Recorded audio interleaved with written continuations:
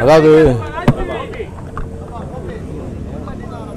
சீரான மின்சாரம் வழங்குவதற்கு வக்கில்லை.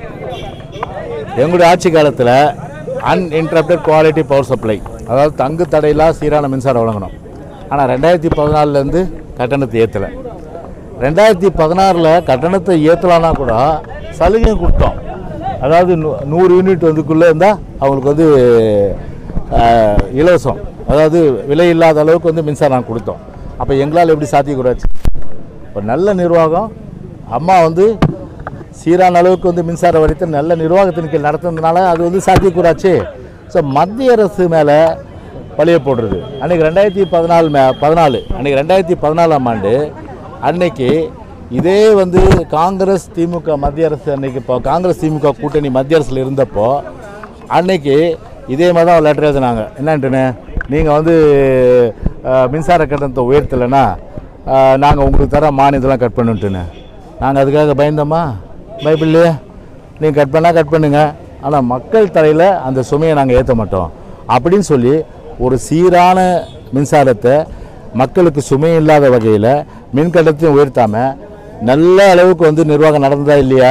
சொல்லுங்கள் ஆனால் இப்போது இன்னைக்கு ஒரு மின் மத்திய ஒரு மின்சார கட்டணத்தை நீங்கள் உயர்த்தலைன்னா மானியம் தரமாட்டேன்னு சொல்லி சொல்லியிருக்க மத்திய அரசு நீங்கள் அதே வந்து மத்திய அரசு பெட்ரோல் டீசல் விலை குறைச்சிது.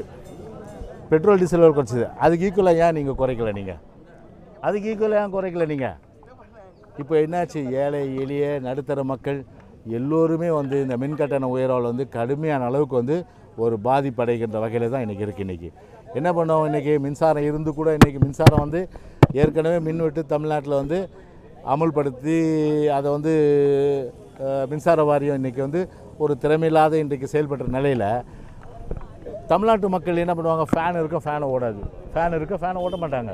வெட் கிரைண்டர் இருக்கும். சேவ் பண்ணுறதுக்காக என்ன பண்ணுவாங்க? வெட் கிரைண்டரை வந்து யூஸ் பண்ண மாட்டாங்க. ஃப்ரிட்ஜ் இருக்கும். ஃப்ரிட்ஜு யூஸ் பண்ணால் மின்சார கட்டணம் வரும். யூஸ் பண்ண மாட்டாங்க.